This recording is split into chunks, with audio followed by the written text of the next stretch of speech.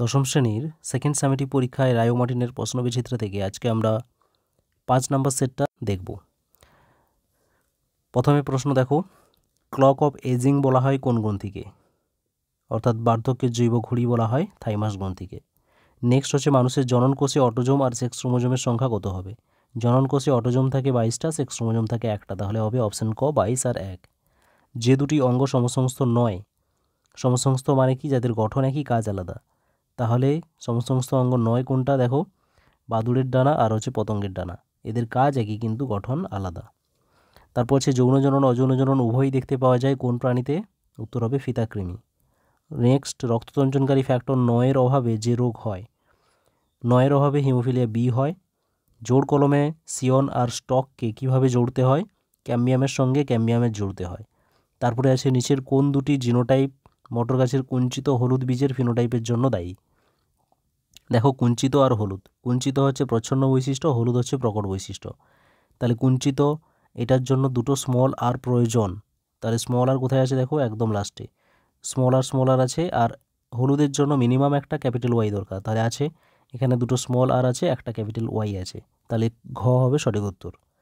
Next প্রশ্ন ল্যামার্কের তত্ত্বের সঙ্গে সম্পর্কিত শব্দগুচ্ছ সঠিক। ল্যামার্কে তত্ত্ব কি অস্তিত্বের জন্য সংগ্রাম? প্রকরণের উৎপত্তি, অর্জিত বৈশিষ্ট্যের বংশানুসরণ, প্রাকৃতিক নির্বাচনবাদ। এর মধ্যে অর্জিত বৈশিষ্ট্যের বংশানুসরণ, এটা হচ্ছে ল্যামার্কের তত্ত্ব। বাকিগুলো হচ্ছে ডারউইনের তত্ত্ব। তারপর হচ্ছে বাতাসে ওড়ার জন্য পায়রার দেহে কোন অঙ্গটি অবলুপ্ত হয়েছে? উত্তর হবে কি? পিত্তথলি।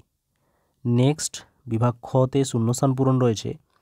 প্রকৃতপক্ষে আলুর চোখ হলো ড্যাশ মুকুল। কী হবে? এটা কাক্ষিক মুকুল। নেক্সট আছে ক্যাপিটাল টি জিনের বিপরীত, অ্যালিল কোনটি হবে? স্মল টি হবে। সত্য মিথ্যা ভ্রূণ অবস্থায় সকল মেরুদণ্ডী প্রাণীর ফুসফুস থাকে। এটা কি হবে? মিথ্যা হবে।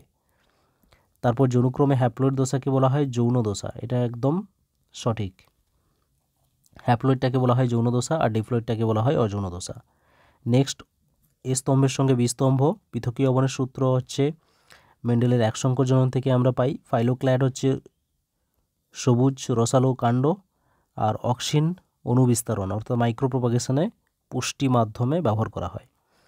নেক্সট আছে বিষ অদৃশ্য হিমোফিলিয়া, থ্যালাসেমিয়া, বর্ণান্ধতা, মায়োপিয়া। এর মধ্যে আলাদা হবে কি? মায়োপিয়া। এটা হচ্ছে চোখের একটা রোগ, যেখানে কি হয়? দৃষ্টিশক্তি সমস্যা হয়, আর বাকিগুলো হচ্ছে জেনেটিক রোগ। নেক্সট আছে, বি সমবৃত্তীয় অঙ্গ কোন ধরনের বিবর্তনকে নির্দেশ করে? দেখো সমবৃত্তীয় অঙ্গ তাদের গঠন আলাদা, কিন্তু কাজ একই।